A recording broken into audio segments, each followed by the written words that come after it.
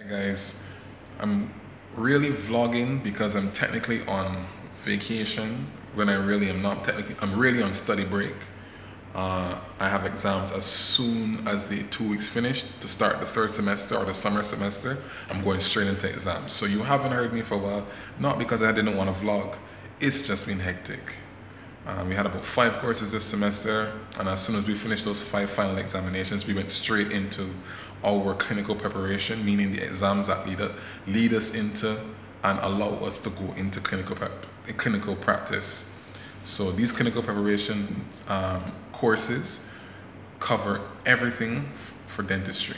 Every single course you can think of, periodontics, prosthodontics, orthodontics, endodontics, every single course you can think of, we have to cover and we have to cover it broad and wide. We've been reading research papers, we've been doing simulated OSCEs, you name it, we have to do it.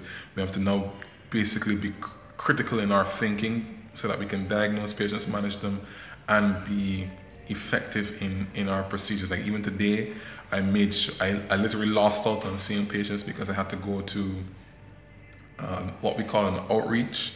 And at these outreaches, we see patients for free or for reduced prices Today I did um, like two cleanings and an extraction. Got out the distal, distal um, root of a first molar, but the proximal was lodged to me on the premolar. So it was a tooth number tooth number 30. So that that that was a little bit disappointing. But for the most part, I've been pretty successful with my extractions. So the next couple of probably a month and some change, we'll be going straight into clinicals. Like I will not be doing any classes at all.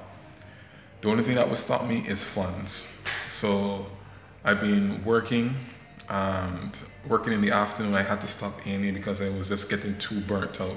Like I would just come straight home, read. My, I would look at my note and just go, Ugh, drop right off to sleep because I, I was just exhausted. I mean, A&E's 12 hours straight. So what I did was I thought to myself, what I would do is open up, open back up my office, but this time in a different location.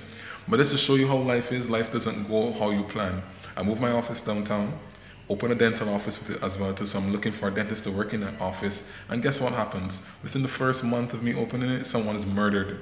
Like within 30, 20 to 30 meters from the front door of my of the building that houses my office. So I, I literally left school to rush down there to go and see patients. And I was in contact with a patient saying, okay, come into office. And when the patient left out to come to see me, I got down there, I saw police tape. I was like, what? Like literally, like I just moved there and this is what's happening. So that that was kind of a downer. So it's it's just been hectic. I can't even I can't even explain how hectic it's been, and I, and I, I still have so much to do. Even yesterday, at the last day of school, we were there trying to do some online course, some on online continuing dental education courses, which are necessary for us to fulfill the requirements for this course so that we're allowed to go into dental, um, the dental polyclinic to do clinical practice, to actually just be in our clinical years. So guys, we're coming to the end, but the ending is getting more and more hectic and more and more um, demanding. And trust me, I am struggling to keep my head above water. Even yesterday, yesterday someone asked me, why am I always lost? I'm lost because I literally am thinking about a million and one things. I'm either worrying about how am I going to pay for my tuition? I'm worrying about, oh my goodness, do I have enough money for the week? Or, oh my goodness, do I have enough money to meet, make ends meet? I'm literally in this, it's, it's me and my mom and that's, and that's pretty much it. We're doing battle and I'm battling, trying to make sure I can provide for my kids. Uh, so yeah, I'm literally it's me, my mom. That's it. and my mom's in, in Barbados. So I'm here in Jamaica by myself, trying to just keep my head above the water. And trust me, um, some days I just look at my look at myself in the mirror and say, do I really want to do this? After a while, I'm just like, is it really worth it? But guys, I got a taste, just a taste of what life will be like after this. And I must say, there's a very good chance it will be worth it. But for right now, I, I have to admit to you, the pumped up version of myself, I'm not feeling so pumped. I I cannot explain to you how hectic just one day is for me. So I have to wait. Ah oh boy.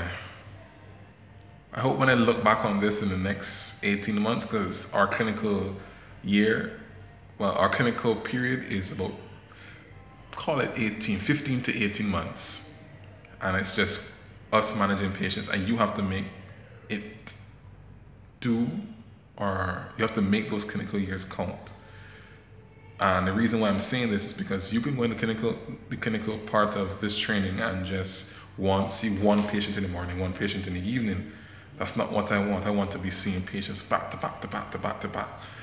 Because this thing is about volume. Everything in medicine is about volume. The more patients you see, the better you become, um, the more efficient you become. The, like literally, the more money you make. If you're slow and only seeing one in the morning, one in the evening, when you leave the practice or you leave clinical years, the clinical years of dental school, you are just going to be doing that one in the morning, one in the evening for quite some time before you start to speed up. No, I want to get very efficient and very, very accurate in my my treatments. So far, extractions I've gone I've gone up pretty decent. Cleanings have gone up pretty decent. Um, I'm pretty decent on mannequins for my restorative work.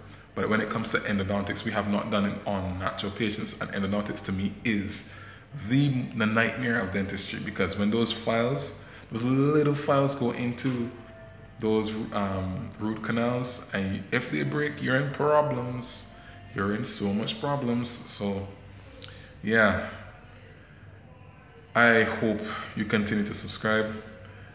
I'm sorry to be a downer today, but I just really don't feel very, very, um, you know, motivated. I'm literally just telling you the truth.